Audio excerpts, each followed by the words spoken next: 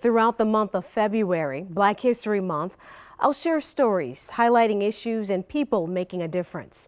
Tonight, I'm focusing on this year's theme, African Americans and the vote. 2020 marks the 150th anniversary of the 15th Amendment, which gave the right of black men to vote following the Civil War. To understand the present, we must first visit the past. The year was 1964. These three men were killed by members of the KKK in Mississippi. They were campaigning for all black Americans to get the right to vote. One year later, in August of 1965, President Lyndon Johnson signed the Voting Rights Act, which eliminated the restriction on the voting rights for black people. But 55 years later, Keith Mayes says the fight isn't over. The African American vote is under attack. Mayes is a professor of African American and African Studies at the University of Minnesota.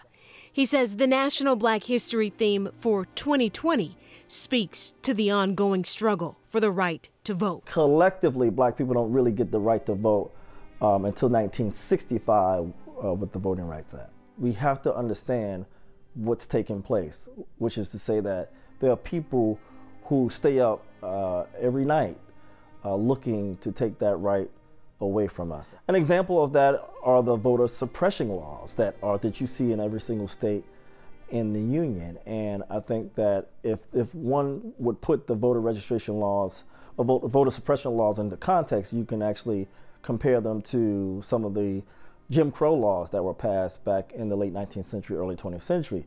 Um, mainly the poll tax, uh, the grandfather clause, and the literacy test. As America prepares for the 2020 presidential election, Mayes says there are already tactics underway to suppress the black vote. So we got the voter suppression laws, right? The new ones. Voter ID. We're going to get rid of early uh, registration. We're going to get rid of absentee. We're going to get rid of voter. We're going to curtail voter registration drives. You see the same thing today with a voter ID law. Nothing that on the face of it that says anything about race. But they know that African Americans, particularly African Americans who are poorer, who may not have a lot of means, who make a certain amount of money every year, they, they know for a fact that they are more likely than not to carry a government issued ID. And so that's how they get us. Many of us may not be registered, so we show up on election day and register, register that same day.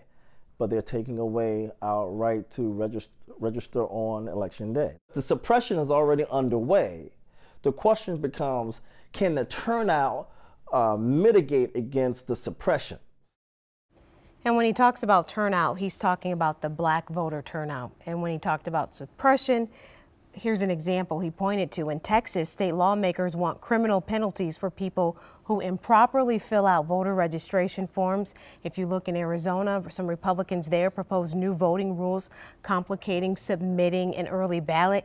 And in Tennessee, GOP lawmakers are considering a bill that would fine groups involved in voter registration drives, which is something we've seen African Americans doing for decades. And all these reasons why voting is the focus of Black History Month? Exactly, for this year. Huge issue. One thing that, that Professor Mayes always said to me that when we talked about that, I, I thought it's just so silly. You know, when people talk about the black vote, you can't assume something's monolithic. That's ridiculous. We don't call it the white vote. I think what they're saying when they when people say the black vote, it's saying that as a black person, mm -hmm. your mm-hmm. voice counts, your okay. voice matters, and we are not a monolithic group.